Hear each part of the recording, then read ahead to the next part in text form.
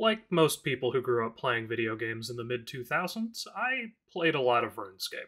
It wasn't my first MMO, that was a little text based game called Hidden World that I never quite wrapped my head around. But it was the one I sank countless hours into over the years. While I would fall off the RuneScape wagon several times, I kept coming back and generally considered myself a fan of the MMO genre.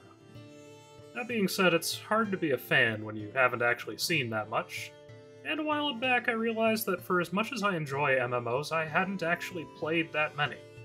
So I've set out to fix that, with a plan that I can only describe as an MMO vacation.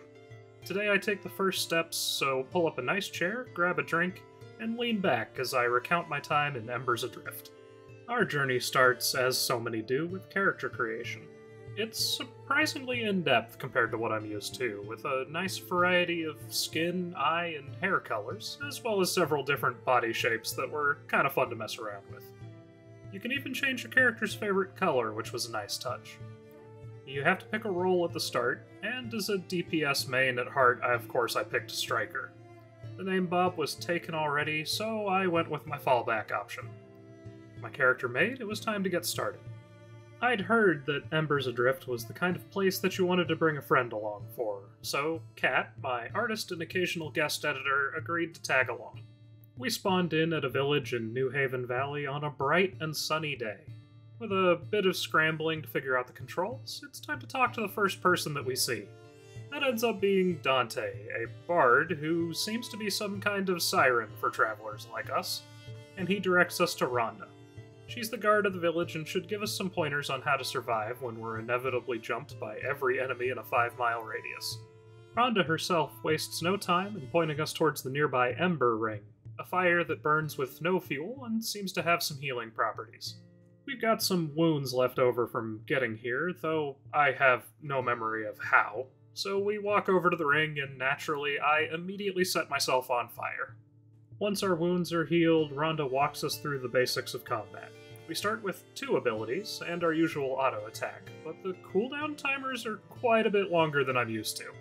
That's nothing that we can't adjust to, though, and once we've proved we can successfully hold our own against some training dummies, Rhonda hands us a couple health potions and sends us off to see Johan. He warns us about all of the dangerous fauna in the area, tells us to kill 20 of the local forest beasts to get some experience under our belts. Now, I didn't come here to not kill 10 boars, so we jump the first rabbit that we see and promptly drown in tutorial pop ups. That's one down and 19 to go. Our next target is a doe, and. Hey, I know that sound.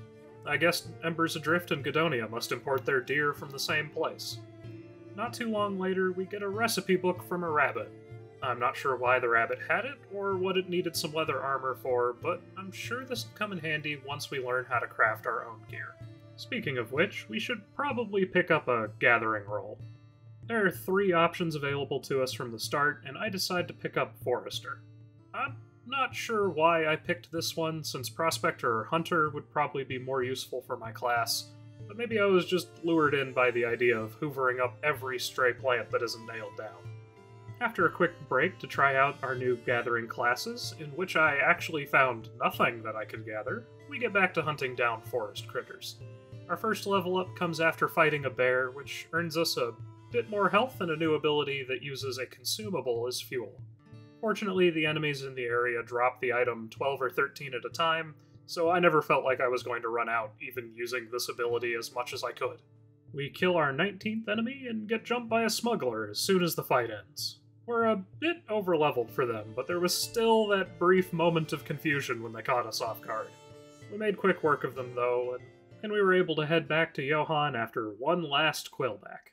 Once we report back to Johan, we're set free to explore the land and do whatever we feel like. He tells us that the large blue planet we can see hanging in the sky is true north, so we'll always have some idea of where we are. Personally, I think that's very accommodating for travelers like me, since I do have a tendency to wander off when people aren't paying attention. Johan also points us in the direction of two people in the valley that could use some help. Just like that, we're set loose on Newhaven Valley. This is where things get pretty interesting for me. I've always preferred a nice theme park style MMO to a sandbox, but I came here to experience a new way of doing things, and that's exactly what we're going to do. I do still need to find some logs for the Forester tutorial quest, so I decided to spend some time doing that. Of course, night had fallen, so this might not be the best time to look, but that's never stopped me before. However, running around in the dark isn't the best idea as you might imagine, and before long I get jumped by another smuggler. This one is quite a bit stronger than the other one, but it's nothing that a liberal application of swords can't handle. After several more minutes of searching, we managed to track down a log, and I can finally continue with the intro quest. We're allowed to pick up a second crafting or gathering class once we reach level 6 of our current one, so I've got quite a ways to go before I can even think of doing that. One of the many deer that we killed along the way dropped a new axe, so I decided to give it a try. Each role can equip a few different weapons that change how it feels to play, so you know what? Why not see how swinging a large axe changes things up versus the twin swords that I started with? Unfortunately, while I'm testing it out, we have a fight interrupted by a guard. Not only was this incredibly rude of him, we also don't get any experience or credit towards quests that we're working on. Guards patrol the main roads night and day, so we'll need to be careful if we're working on any Kill X quests near the road.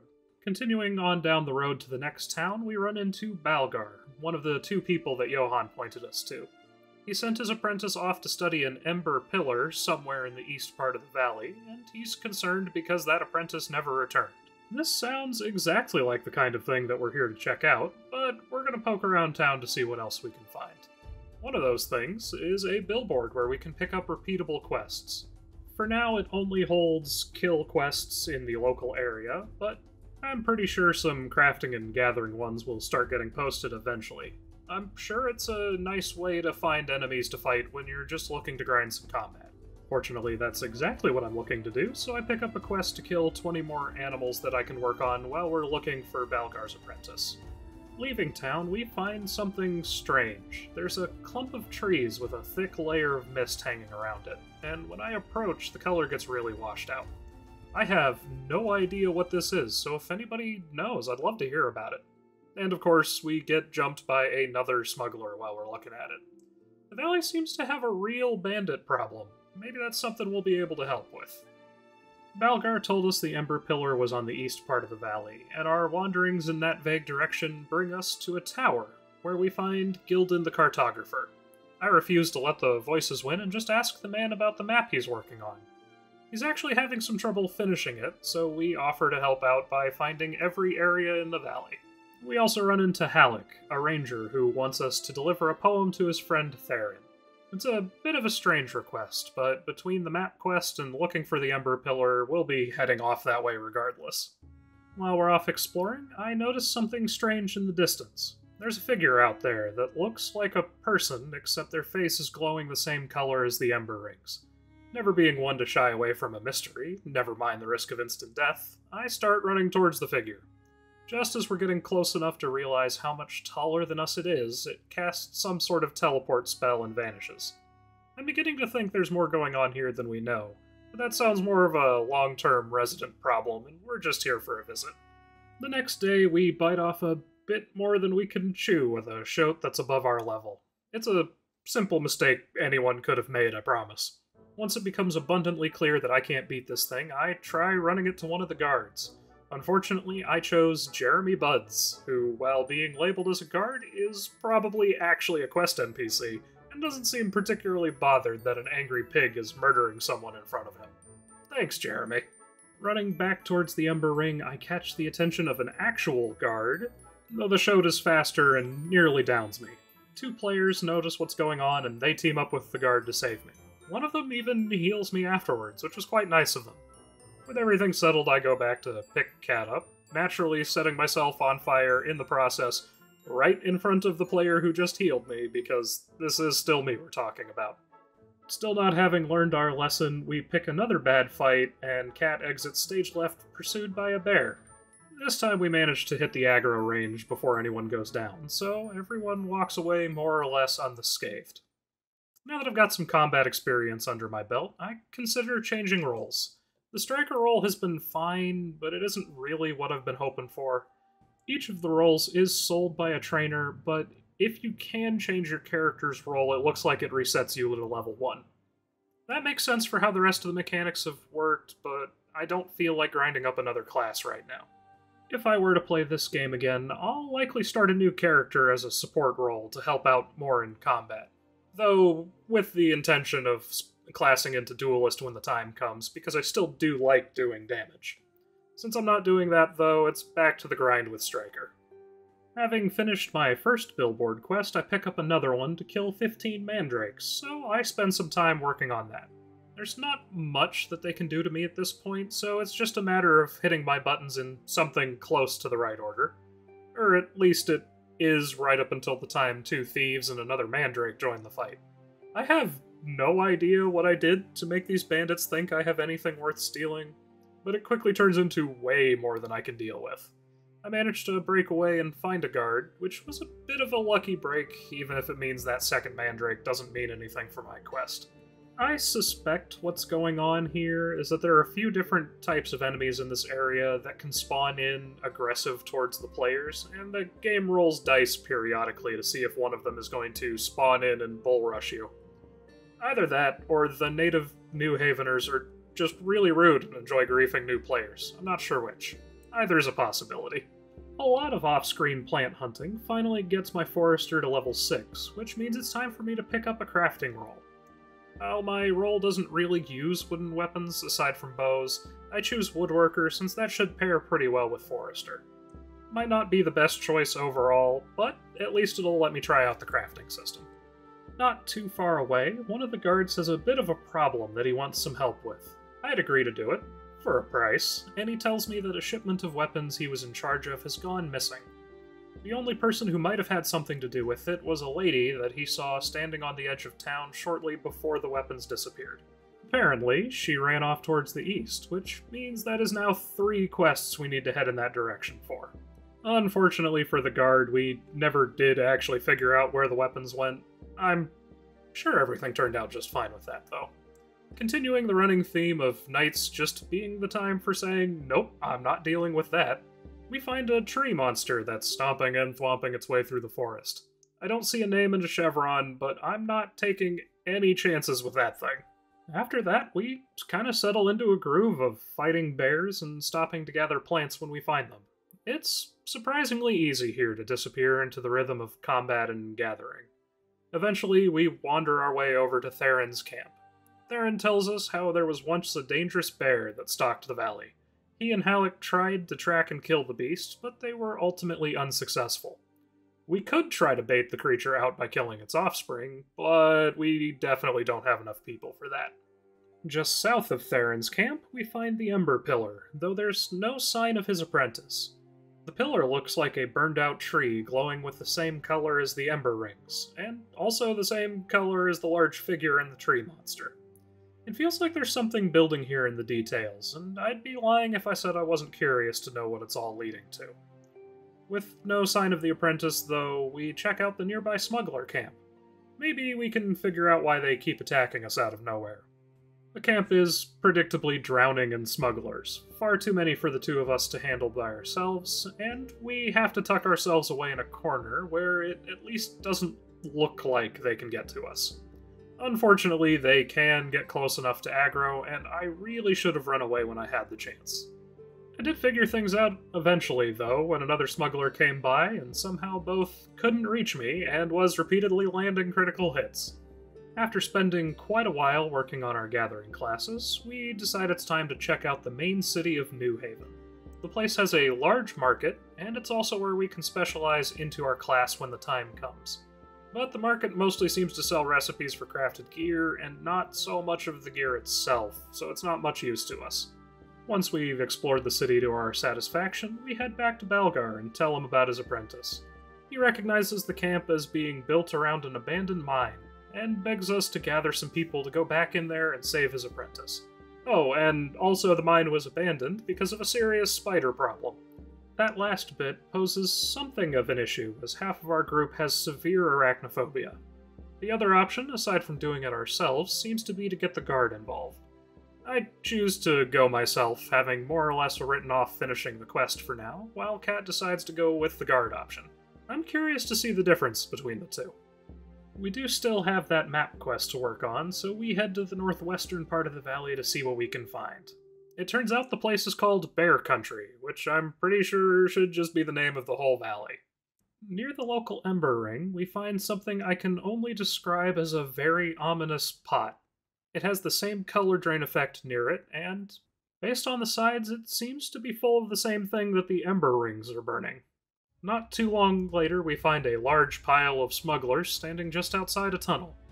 There's also a chest nearby that's being guarded by a horde of rats. They'll probably attack us as soon as we try to open it, but the call of free stuff is just too much to bear.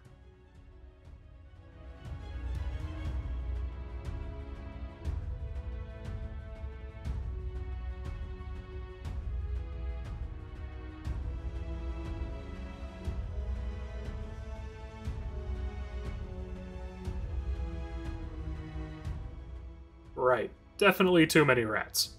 I did notice I respawned near one of the ominous things, but I'm not sure if that's random coincidence or if those are respawn points. After getting our stuff back, we take a second shot at opening the box. There are fewer rats this time as we were able to knock out a few on our first attempt, and by peeling the remainder off one at a time with my bow, we're able to take them out. The box contains a few odds and ends, including quite a bit of armor that's better than what we're currently wearing. So, all things considered, I'd say it was worth it in the end. The fight did leave us both with some wounds that we'll need to heal, so we plop ourselves down just outside the Ember Ring and kick back until that goes away. It takes a bit, but once those are healed, we set back out into the wilds. Continuing one of the running themes of our trip, we get jumped by a bear that's both higher level than us and also meant for a party of six to eight people. We're able to get away from the thing that will join the ever increasing lineup of things that haunt my dreams, but not before we get a taste of exactly why it takes so many people to fight. A bit more exploring leads us to a cave full of bears. I'm pretty sure this is where Theron and Halleck wanted us to go, but seeing as two is still a smaller number than six, there's nothing we can do here. While we're exploring, I happen to notice a biker mice from Mars joke in chat, which is a wild thing to see at all, but especially here in 2024. Passing by the smuggler tunnel from earlier, the place seems to be abandoned. Or, more specifically, someone seems to be hunting them to extinction. It's been a while since we've been attacked by them, so while I'm pretty sure that had nothing to do with it, I can't be 100% sure. With the northwestern region mostly explored, we get back to trying to save Balgar's apprentice. The guard would love to help, but they're too swamped with all the thefts in the valley. In fact, they've been asked to look into Phil the Miller's missing grain before the guards will help with the missing apprentice. Speaking to Phil, he suspects the local bandits have been taking it, and he wants us to get it back. The closest place we can think to investigate was that tunnel that was until so recently full of smugglers. So, off we go. Fortunately for us, the player who was hunting smugglers earlier is still at it, so we have no issues walking right up to the door of the tunnel. Coincidentally, that was also the last area we needed for the map quest, so we can mark that one off the list as well. Through the door is the Central Veins dungeon, and now we get to see what a dungeon in Embers Adrift looks like. This also highlights something that I find pretty interesting, in that no matter which path you choose in the quest, you end up in this dungeon for more or less the same reason. That kind of branching quest design is neat to see, even if it does mean that there's a non zero risk of spiders in the near future. On loading into the dungeon, we meet Damok and Borlak, two adventurers who are slowly trying to work their way through the dungeon. I guess they're having some trouble, since they're huddling around the Ember Ring to heal up. I scout ahead to make sure things are safe, and one of the enemies spawns in behind me. It's below our level, so nothing we can't handle, though I do have to wonder what's going on with my character's neck. That looks painful. A bit deeper in the dungeon, we run across those two adventurers again. They've drawn the aggro of an enemy that's too tough for the two of them alone to fight, so we jump in and help. Fighting with a group like this is easily the most fun that I had in the game, and we tag along with them for quite a bit of the rest of the dungeon. Having this many people involved really helps with both the big enemies and the groups that normally give us trouble. This was the moment where the game really came alive for me, and if I ever find myself back in Newhaven Valley, I'll be sure to bring a few more people along. The good times, unfortunately, couldn't last forever. as Balgar had hinted, we rounded a corner and ran into a surprise spider, and that was that. I doubt they'll ever see this, but in case Borlak or Damok are watching, it was a lot of fun running through the dungeon with you, and I wish you the best of luck on your future bag runs.